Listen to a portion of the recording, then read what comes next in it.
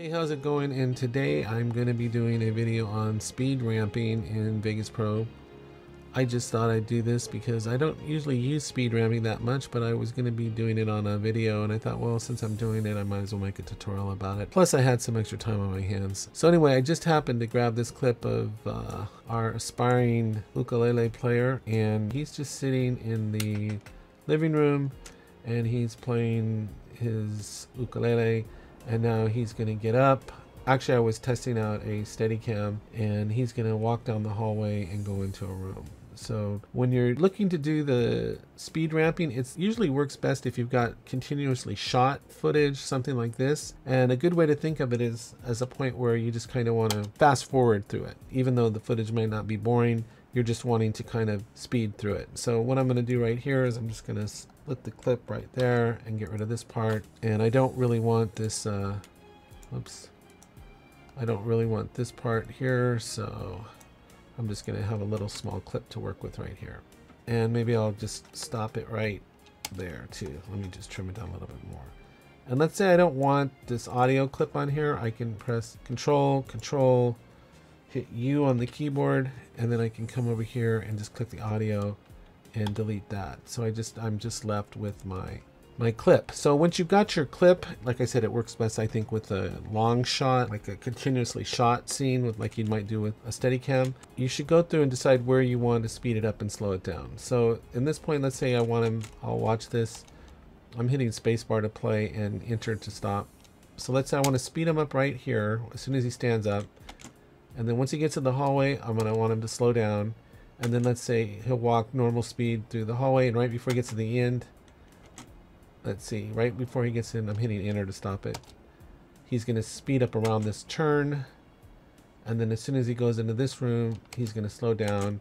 And then he's just going to turn around. And we're going to end it right there. So you should identify the points at which you want to speed and slow down the person. So first I'm going to select this clip on the clip and with the arrow keys I'm just going to kind of go back and let's say I want him to I want to speed him up as soon as he's standing up like right there okay? So then I'll just come in here to insert video envelope and event velocity.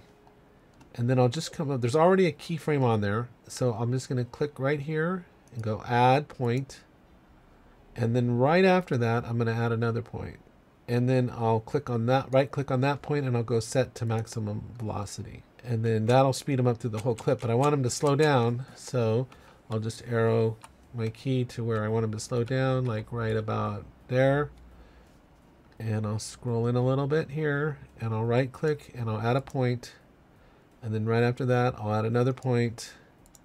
And then on that point there, I'll put set to normal velocity and that'll slow him back down. So we should have this little like a hyper zoom or fast forward effect right there. So there he is playing and whoop, there he goes, and he slows down.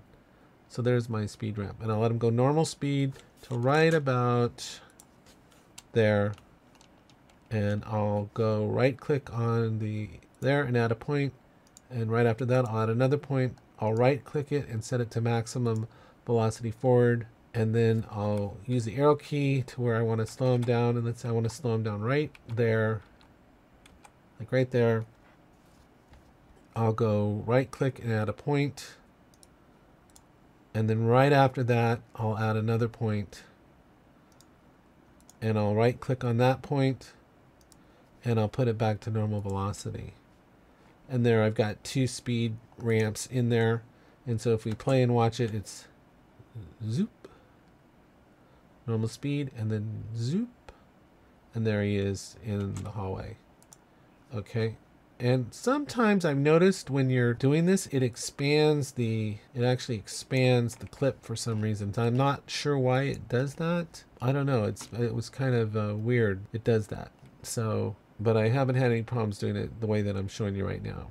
Okay, so there's that. Now let's say, show you one other thing. Let's say if we're watching this ramp right here. Now you should notice these points are adjustable, so you can move them. They're not, if you want to adjust it a little bit, they're all movable. So, you, you know, you can just click and drag on them. See, I can put this one on normal velocity. So these are all adjustable. So I might have dragged that too far. So let me see. He's speeding up down the hallway. So what I can do is actually pull that back like that. And I don't want it to, I'm clicking and dragging on this. And actually, if you right click on here, you can set the type of transition that you have. If you want them to slow down faster or smoother or sharp, you can do that too. So there he goes. And there he goes. So you can see when I adjusted this, it affected this.